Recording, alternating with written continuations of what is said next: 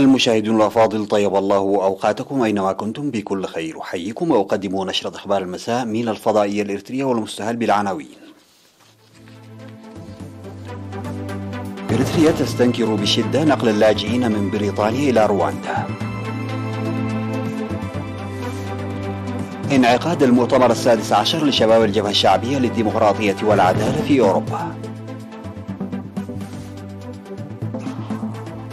تطور الخدمات الصحية في سرجقة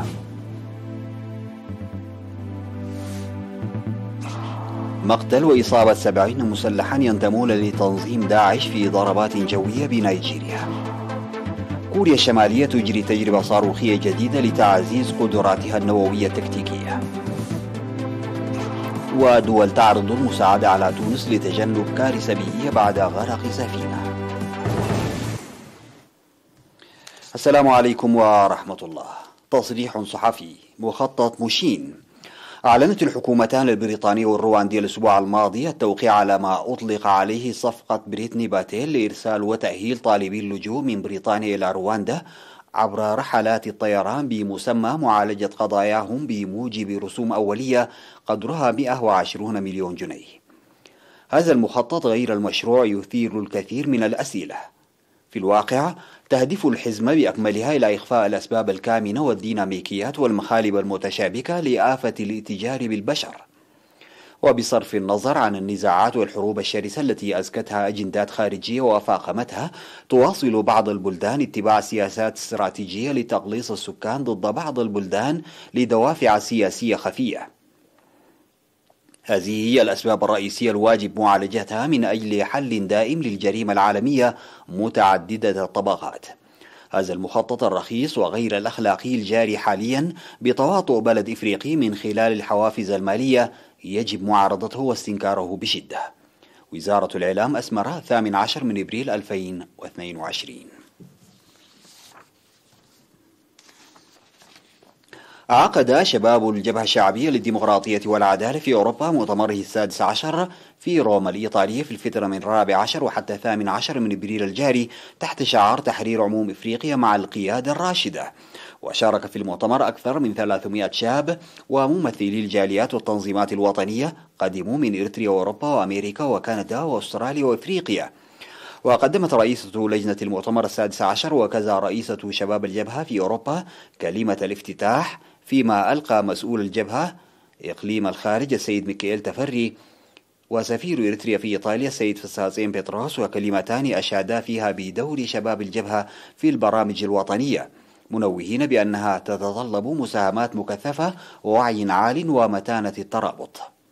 كما ألقى مسؤول الشؤون السياسية في الجبهة الشعبية السيد يماني قبرآب كلمة عبر تقنية الفيديو الافتراضي من أسمرة شرح فيها الأهداف الراهنة التي تؤمل وترشد العمل الفعال لإنجاز تأطرات قوية وبرامج تعبئة فاعلة في الوقت الذي نشهد فيه متغيرات متعددة إقليميا وعالميا مشيرا إلى توقعاته بأن يجري أو يجري شباب الجبهة حوارات نقاشية تساعد على تنفيذ مهامه المرحلية بتعزيز وتمتين هيكله وقيادته والخروج بفهم مشترك وبرامج واضحة. وقدم ممثلو الحركة الشبابية في المناسبة تقارير أنشطتهم والتحديات التي ظلت تواجه أنشطتهم متعهدين العمل بقوة مستقبلا.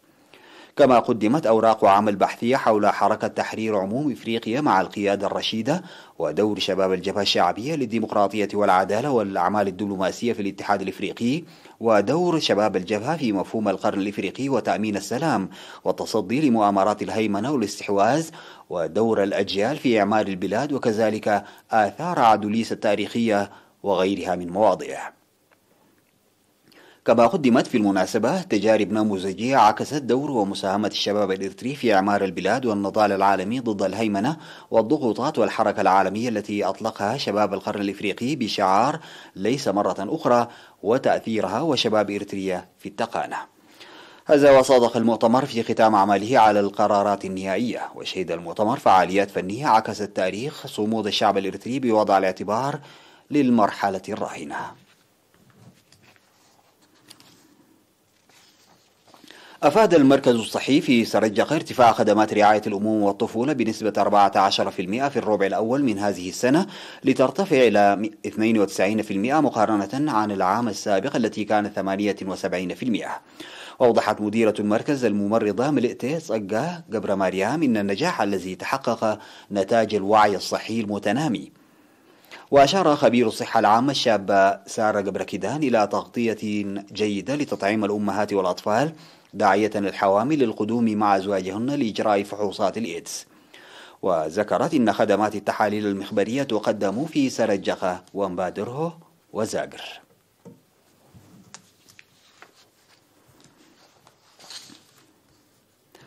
نظم يوم السابع عشر من الشهر الجاري السباق الافتتاحي للجنسين لمنافسات سباق الدراجات لعام 2022 وجرى السباق بمشاركة المتسابقان المحترفان بنيام جرماي وهينوك ملوبرهان ومشاركة قوية للمتسابق الأولمبي دانييل تخلاهيمانوت أعجبت المشاهدين.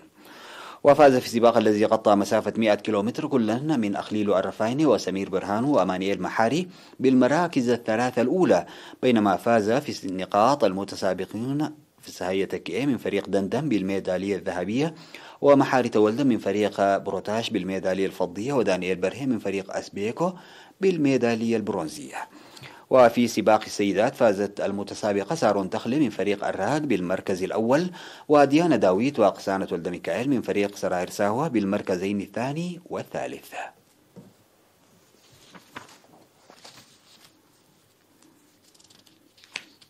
استشهد في السابع عشر من إبريل عضو قيادة الجيش الشعبي المناضل العقيد كحساي حقوس زريد عن عمر بلغ 71 عاما جراء مرض ألم به. التحق المناضل العقيد كحساي حقوس بصفوف قوات التحرير الإريترية في شهر نوفمبر من عام 1974 وخدم ل 48 سنة في القوات المقاتلة من جندي عادي حتى إدارة هيئة الفرقة العسكرية من أجل الاستقلال والدفاع عن السيادة. المناضل العقيد كحساي حبو الزريت متزوج وأب لأربعة أبناء وقدورية جثمانه الثرى ظهر اليوم الثامن عشر من إبريل في مقبرة الشهداء في كرن. وتعرب قيادة الجيش الشعبي عن بالغ حزنها لاجتهاد المناضل العقيد كحساي حبوس وتقدم تعازيها لأسرته ورفاقه المناضلين والزملاء.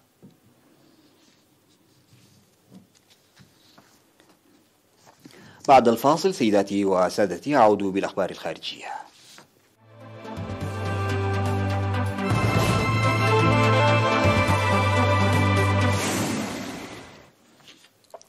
أعلنت القوات الجوية النيجيرية القضاء على سبعين مسلحا ينتمون إلى تنظيم داعش الإرهابي في إقليم غربي إفريقيا في ضربات مشتركة مع النيجر في منطقة بحيرة تشاد على الحدود بينهما. وصرح المتحدث باسم القوات الجوية النيجيرية إدوارد جيب كويتان الضربة الجوية أن الضربة الجوية تم تنفيذها في الرابع عشر من إبريل على منطقة تومبون ريجو ومعسكر تدريب خاص بمسلحي داعش مجاور لها. وأوضح أن المقاتلات التي نفذت المهمة تنتمي لدولتي نيجيريا والنيجر. أما عن توقيت العملية العسكرية فعادة ما تكثف القوات المسلحة النيجيرية ضرباتها في هذا الوقت من العام الذي يسبق موسم الأمطار الغزيرة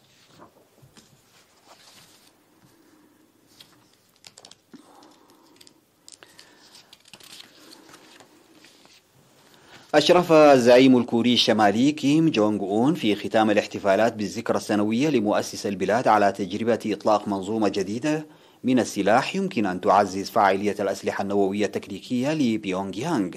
وتتزامن هذه الذكرى السنوية مع تدريبات عسكرية مشتركة بين سيول وواشنطن. وتنظم كوريا الجنوبية والولايات المتحدة تدريبات عسكرية بانتظام تحتج عليها بيونغ يانغ معتبرة أنها استعدادات لحرب. ولا تعد عملية الإطلاق الأخيرة في سلسلة غير مسبوقة من اختبارات الأسلحة التي تشكل انتهاكا للعقوبات هذا العام بما في ذلك إطلاق صاروخ باليستي عابر للقارات بكامل المدى الشهر الماضي. وقالت وكالة الأنباء الكورية الشمالية الرسمية إن السلاح التكتيكي الموجه الجديد يرتدي أهمية كبرى ليحسن جذريا القوة النارية لوحدات المدفعية بعيدة المدى ويعزز فاعلية استغلال الأسلحة النووية التكتيكية.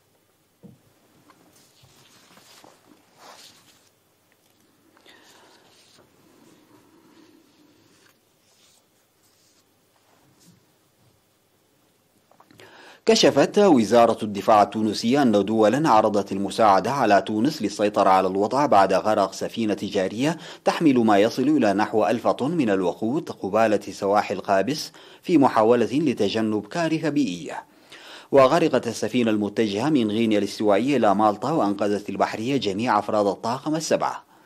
وقال مسؤولون إن السفينة كانت تحمل ما بين 750 طن و1000 طن من الوقود وأرسلت نداء استغاثة على بعد سبعة أميال سبعة أميال من قابس واستجابت له البحرية التونسية.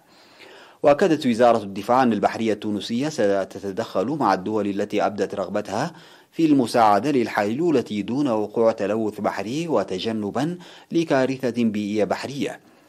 ويواجه ساحل قابس بجنوب البلاد تلوثا كبيرا منذ سنوات حيث تقول منظمات بيئية إن منشآت صناعية في المنطقة تقوم بإلقاء النفايات مباشرة في البحر.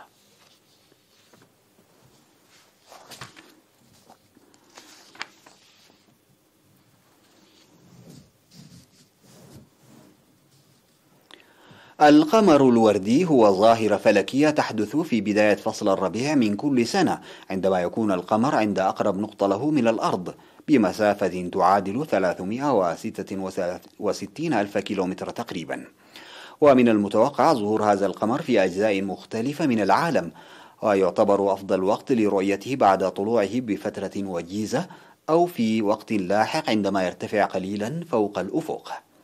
وللحصول على أفضل فرصة لرؤيتها يفضل التوجه إلى منطقة بها القليل من الأضواء حتى يظهر القمر بشكل أكثر سطوعا.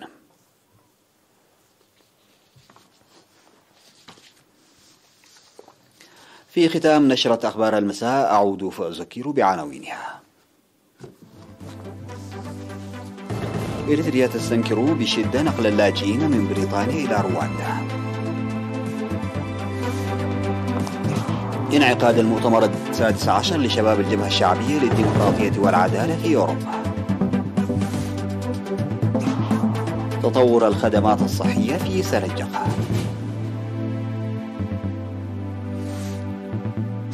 مقتل وإصابة سبعون مسلحا ينتمون لتنظيم داعش في ضربات جوية بنيجيريا. كوريا الشمالية تجري تجربة صاروخية جديدة لتعزيز قدراتها النووية التكتيكية.